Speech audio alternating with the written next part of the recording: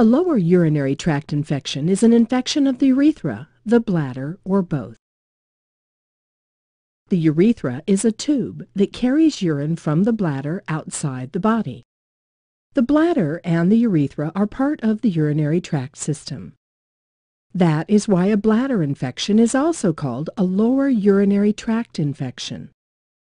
If you have a bladder infection, you often feel a burning sensation while urinating and a pressure or painful sensation in the lower abdomen. You often feel that you have to urinate, but not much urine comes out during urination. The urine may have an unpleasant smell and may sometimes have blood in it.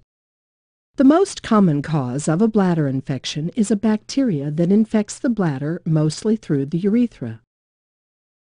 There are different factors that increase the chances of a bladder infection, which goes along with increased risk of bacterial infection.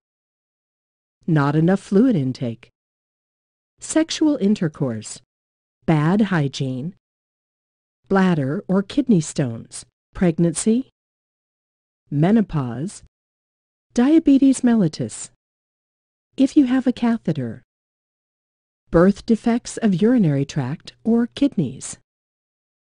Chemicals Women have bladder infections more often than men because women have a shorter urethra, causing easy entry of bacteria from outside into the bladder.